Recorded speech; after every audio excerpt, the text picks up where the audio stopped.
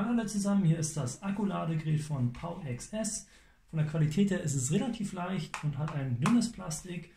Äh, man hört auch so ein ganz leises Fiepen, wenn es an dem Strom angesteckt ist.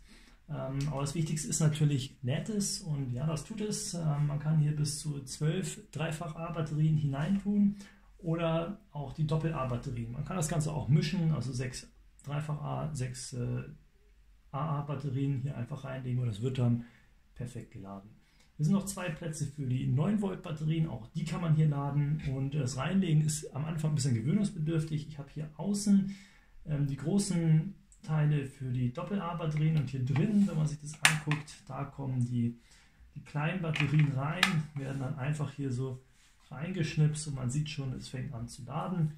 Die große Batterie wird dann hier unten, wie gesagt, reingelegt und fängt dann auch gleich an zu laden. Wir haben also jetzt hier alle drei, die laden und so könnte man das dann hier beliebig weit erweitern.